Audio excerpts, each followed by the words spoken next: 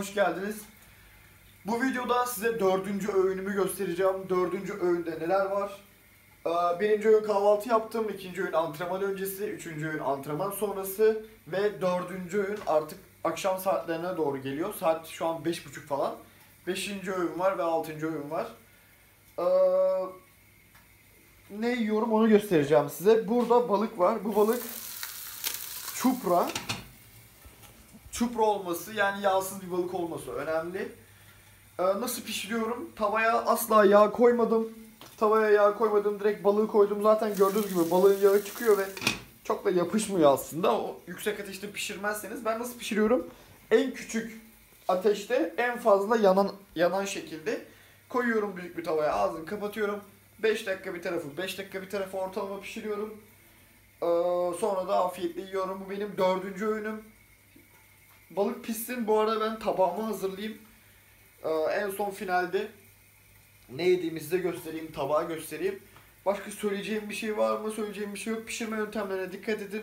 Zaten ya bu videolardan önce ya da bu videolardan sonra pişirme yöntemleri diye bir serisi çekiyorum şu anda. Bütün yediklerimi nasıl pişirdiğimi gösteriyorum. Onu da izleyebilirsiniz ya da birkaç gün sonra izleyeceksiniz. Bilemiyorum şu an. Bunları mı daha önce yüklerim, pişirme yöntemlerimi daha önce yüklerim bilmiyorum. Ama izleyeceksiniz yani. Balıklar pişsin. Ben de tabağımı hazırlayayım. En son finalde yine videoyu başlatacağım. Size tabağımı göstereceğim. Balığım pişti. Ee, şuradan maşamızı alalım. Ama tabağı da şöyle yakınlaştıralım ki dökülmesin. Balığım gayet güzel pişti. Ah! Gözünüz kaldı lan. Dostlarım bu e, hatta bu videoda böyle bir şaka, iğrenç bir şaka yapmışken e, bir şey söylemek istiyorum. Gerçi Instagram'da paylaştım böyle bir şey. Şimdi biliyorsunuz vücut geliştirme yapıyoruz ve e, yani size beslenmemi göstermek zorundayım. Yani hani size yardımcı olmak için bunu göstermek zorundayım. Sakın beni yanlış anlamayın. İnanın, bakın inanın en ufak şeyi bile e, paylaşırken çok böyle düşünerek paylaşıyorum. Hatta çoğu şeyi paylaşamıyorum bile. İnanın size göstermediğim bazı şeyler de var. Yani böyle pahalı oluyor. Sonra ne bileyim canınızı çekebileceğini düşünüyorum falan. O yüzden paylaşmıyorum. Neyse. Dördüncü öğünde ne var? Bu arada kahvaltıda birazcık karbonat aldık. Antrenman öncesi karbonatımızı aldık. Antrenman sonrası karbonatımızı aldık. Artık bu saatlerden sonra karbonat olabildiğince az.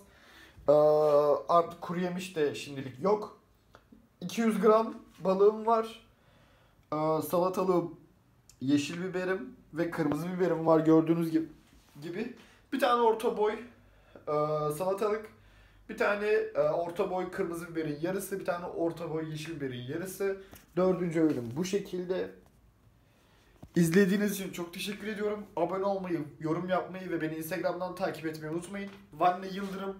Kendinize çok iyi bakın. Peace out.